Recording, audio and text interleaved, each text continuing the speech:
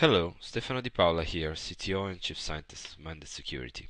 The following video shows a short demo of JStillery, one of the results of our internal research.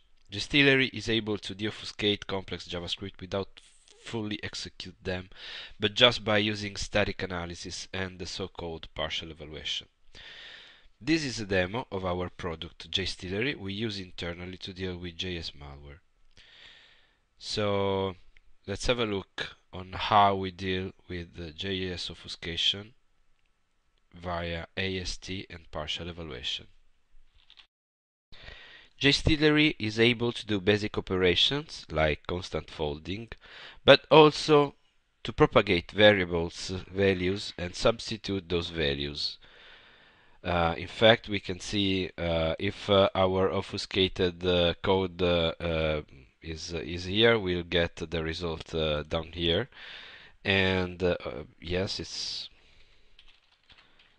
we have uh, the actual uh, uh, execution um, of all the operations but let's take the first example.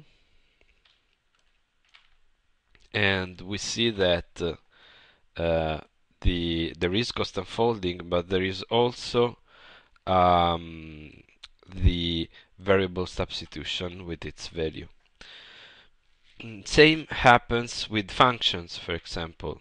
Uh, since um, JStillery um, was born from uh, uh, ES deobfuscate uh, uh, code, uh, is of course able to do stuff like this. so a call expression that returns a pure uh, constant value but is also we can see here the the results but it's also able to deal with uh, um, function references uh, and their call.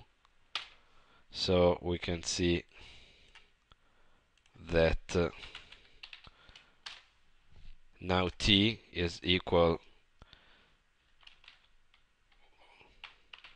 uh, t is equal uh, 1x and so on.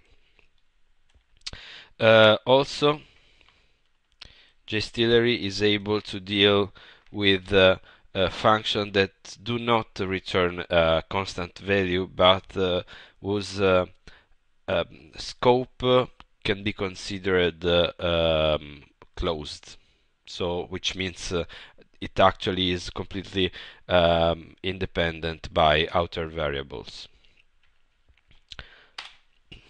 We have uh, uh, the function executed, but uh, um,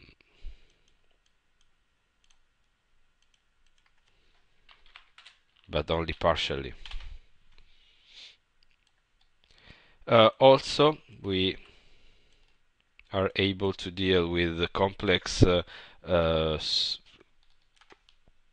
native function calls uh, like join, to string, split, substring, and so on, so that this payload will result in this string. Finally, since we um, the the basic code uh, the the first uh, uh, basic code is comes from ES deobfuscate. We are of course able to uh, deobfuscate JSOFU um, encoded payload. And uh, but we are also able to to deobfuscate JSFuck payloads like this.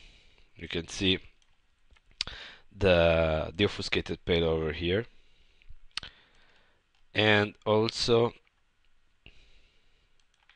JJ encode encoding and there you go. We have the deobfuscated version of uh, all this uh, this code. And uh, we can see over here the payload uh, the malicious payload that will be uh, encoded that will be executed. Finally, also the uh, AA encode by using emoji uh, demonstrate that uh, we were also able to deal with the function uh, with the object uh, complex structures and uh, um, object propagation attribute object and attribute propagations. Hope you enjoyed. Thank you very much